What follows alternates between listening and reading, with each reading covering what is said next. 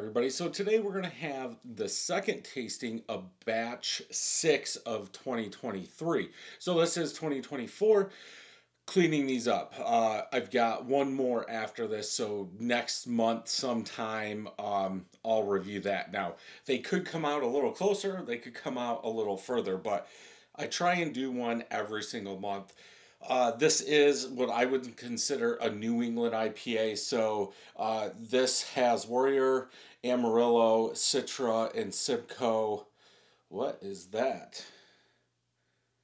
I wonder if I picked. I guess I didn't realize it's only got three. So I bet you I picked the wrong one. So Amarillo, Citra, and Simcoe.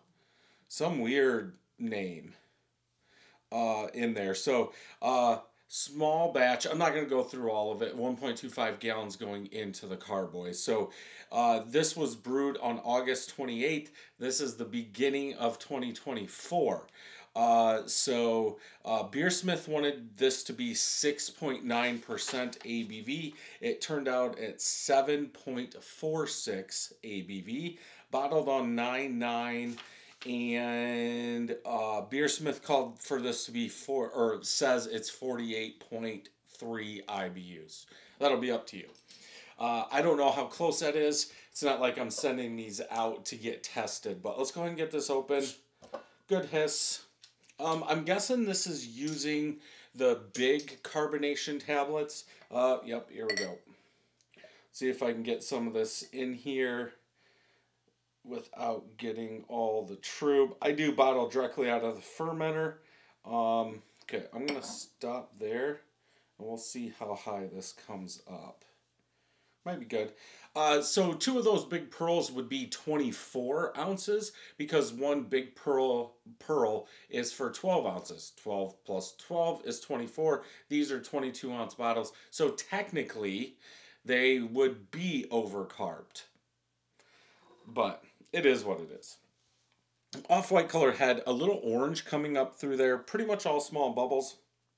On the side, they're bigger, spread apart.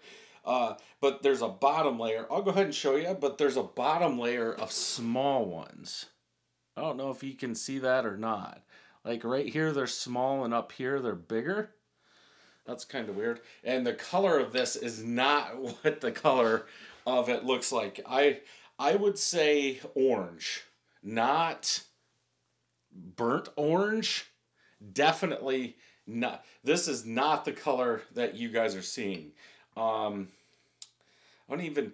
You guys are kind. What I'm seeing in the camera is lighter than the actual brown bottle, but I would say orange. It's clear. I I think this is technically from the the uh, Tree House uh, short that I watched that talked about or gave us a recipe. Um, and I think they say this is an American IPA, not a New England, but I I would put it in a New England. But that's just me. Uh, hot or yeast was the Omega 005. Um, yeah, color looks good. It's just not as cloudy like a New England IPA would be. If anything, hazy IPA this looks like Bell's Yellow. Since I just looked at the sticker on the wall over there. This sticker that you're, or this plaque that you're seeing right here is a little lighter than what this is, but I've got a big sticker, a Bell sticker on the wall. That is the color of this, not, again, what you guys are seeing. Uh, we're getting some peaks and valleys. Let's go ahead and smell. This is going to go over.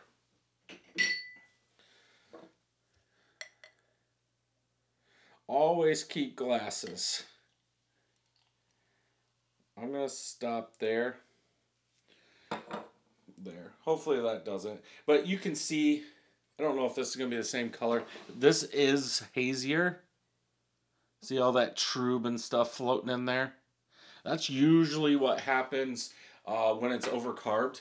And if you watch a bottle, when you open it, you can kind of see it. It like flushes down and mixes everything up. Where if it's regularly carbed, it comes off the top so that trub stays at the bottom. just something I picked up over the years. Um, I don't know why I set the bottle over there. I don't know if it really matters, but let's go ahead and smell. Yeah, citrus, orange citrus rind, maybe a touch of grapefruit bitterness in there. Uh, a little pine, just a touch of pine. Uh, but yeah, I would say that orange citrus, juicy citrus, uh, rind mixed with a little bit of rye, uh, like bitter grapefruit is there, then a touch of pine on the back. Maybe a touch of malt too. I mean, we're almost at a double maybe very very light sweet malt like you would get in a double IPA that malty syrup that light malty syrup just a little bit down. It almost smells like it could be a west coast IPA like it, it's the west coast IPA but not enough bitterness not enough IBUs in the beer to really crank it up to that west coast style. But let's go ahead and taste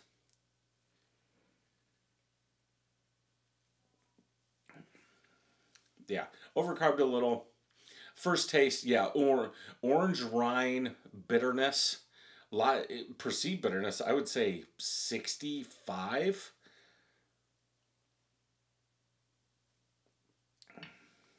Definitely doesn't feel like 48, 50.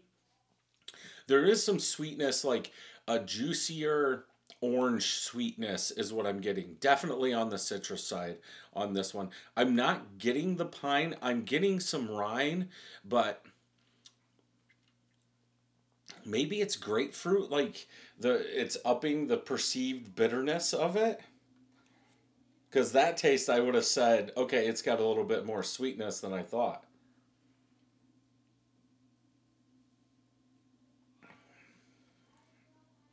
Okay, yeah, there it is.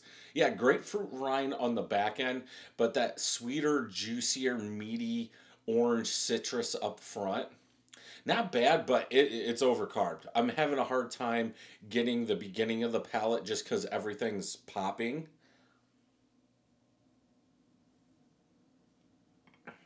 Smooth, easy drinking I don't even know if I would say it drinks like a seven and a half percent. It's almost like it's it, it's lower. In my opinion, aftertaste I get more like grapefruit rind, like the aftertaste of eating a grapefruit without that much sugar on top of it.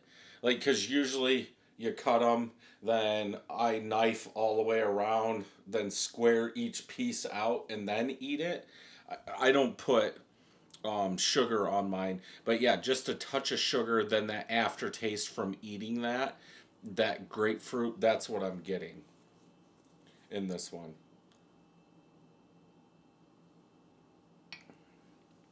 For me, as it is, I would go 3.75. I think that overcarb is kind of killing it, but it's still good. I'm trying to think I don't know how I would have drank this if I had more. Uh, well, if I would have made a whole batch, like a whole five gallon batch of this, I would not have used two big pearl carb- or carbonation tablets. These things, the Coopers, the the big ones is what I used in there, and yeah, I wouldn't have used two but because that's the only thing I had and I knew I was only going to get three bottles, I wasn't that worried about it. But yeah, it, it, it's fine. It works. It's more citrus. And I think those, maybe the Amarillo, maybe a little bit of fruit, but I'm, I'm not getting it. So it should be fine. Simcoe, usually I get uh, that onion, that garlic. I don't. Uh, I don't know if that's kind of faded in there, um, but it's still good. I would drink it, but I don't know how I would drink it if it was over carb like this because obviously I don't. I'm pretty sure you guys can see. Um, after I opened it, it started coming up, and after I poured it, it was coming up. So if you're drinking it out of here, you're probably done for. So make sure you get your uh, sugar water or your carbonation right if you're going to put them in bottles. So if you enjoyed this review, check some more out over here. Don't forget to hit that subscribe button and ring that bell. If you have any recipes you want me to try, leave a link down below. Until next time, cheers.